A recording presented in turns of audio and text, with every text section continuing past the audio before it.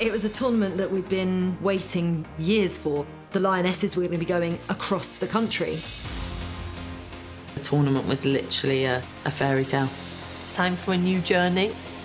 This is going to be something special.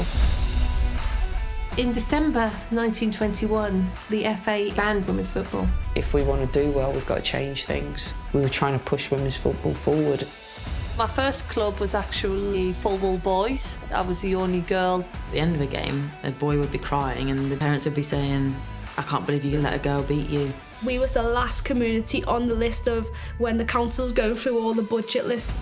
The access to football was very limited. I had speed, I had pace, I had hunger, I had desire. I was a young girl who wasn't afraid of diving around in the mud, I wasn't afraid of the ball. I wouldn't be in the position I am, I don't think, if my parents didn't drive me up and down the country playing football.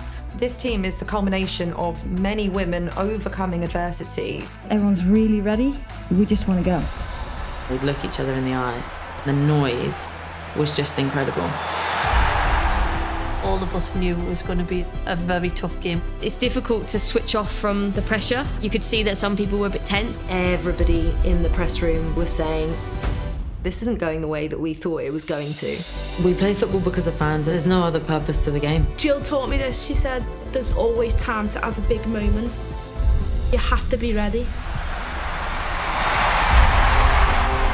I just let out this roar of emotion. It felt like a life's work. Our job was to inspire the next generation, and I felt like that was done. Time to let the young guns go on and do what they need to do. I never thought that I was going to be a European champion. I never thought I'd even be a professional footballer. When you get them successes, speak about them proudly. We are finally at that point where we belong. Everything that we did was, I hope, enough to show how much we wanted to do it for everybody that had come before us.